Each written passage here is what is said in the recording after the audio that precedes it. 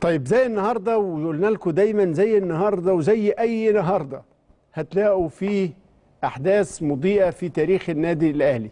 زي النهارده أو زي امبارح 5 أغسطس سنة 82 الأهلي يفوز على المصري في نهائي كأس مصر سنة 83 بهدف خالد جد الله شوارب هيفكركم بهذا الهدف زي ما أنتم شايفينه. هدف خالد جد الله في نهائي كاس مصر 83 آه، أهي.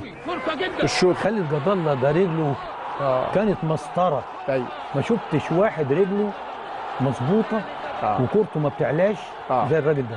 صحيح. بياخدها على عيبها. يعني آه. كان دايما لي وهي متحركة. آه. زي ما تيجي. آه.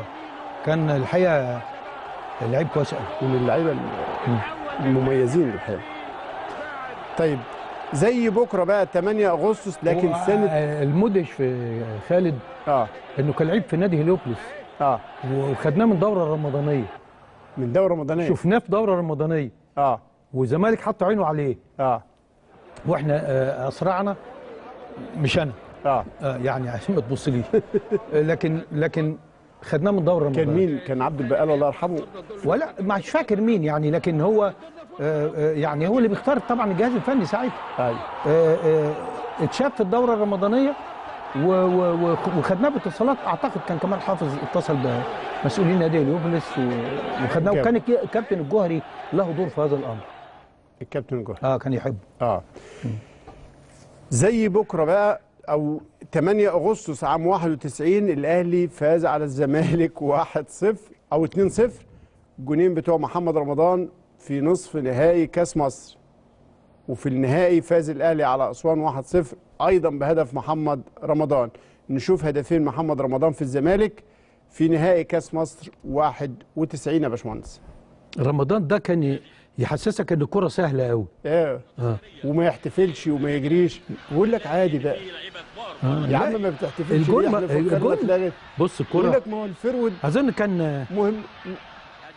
آه، صمام أمان كبير جدا في خط ظهر النادي الأهلي في المباراه اللي لعبها ومفيش offside وماشي رمضان. وعدى رمضان. ويلعب الكورة. في هدوء أكتر من كده؟ آه. ها ويرجع يعمل لك في صباع اليد. تمريرة من رمضان. من القلب الامام لرمضان واللاين كمان بيقول خير الله يرحمه الكابتن محمود بكر. وقبل حسين السيد. عدى من الشرفين بص بيحطها بمنتهى الهدوء. إيه ده؟ الهدوء بتاع شخصيته اللي يلقطك آه سئيل سئيل يعني انفرد بالجول. طب حطها بقى وطمنا كان هادي هادي جدا. أهي بص بقى. أعتقد دي الشوطة اللي بدماغه مش كده؟ رمضان آه لا ده شوطه تسديدة. آه. هو ما كانش بيشوط من بره ال 18 بص، عادة أول مرة يشوط من بره ال 18 قنبله وحتى شوف هو ماشي. آه آه تحس إنه بيتفسح. مش مفيش المعاناة في لعب. والاحتفالية بسيطة و... من الفراودة المهمين في تاريخ الكرة المصرية والأهلاوية. الحقيقة كابتن محمد رمضان.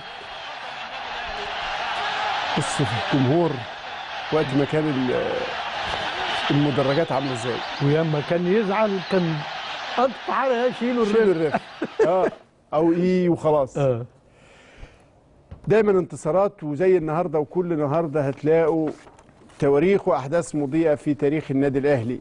لكن يبقى الحديث عن اللائحة ومستقبل الملك بعد الفاصل.